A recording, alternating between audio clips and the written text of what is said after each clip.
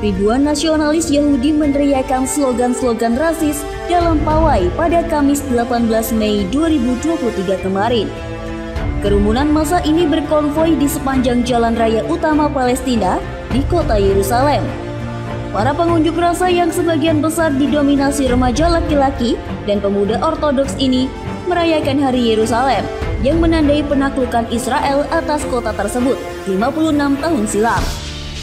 Sepanjang sore, lusinan kelompok yang mengibarkan bendera biru dan putih Israel berduyun-duyun bergerak ke gerbang Damaskus dan bergerak ke tembok barat, tempat tersuci bagi orang Yahudi berdoa.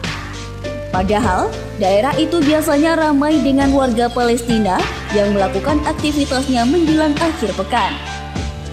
Kerumunan masa ini menari dan menyanyikan lagu-lagu religius Yahudi di luar gerbang Damaskus saat sejumlah polisi Israel berjaga.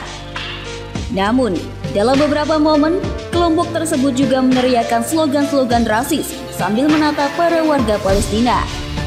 Beberapa pemuda bahkan mengenakan pakaian yang mengidentifikasi diri mereka sebagai kelompok supremasi Yahudi sayap kanan yang menentang asimilasi antara orang Yahudi dan Palestina.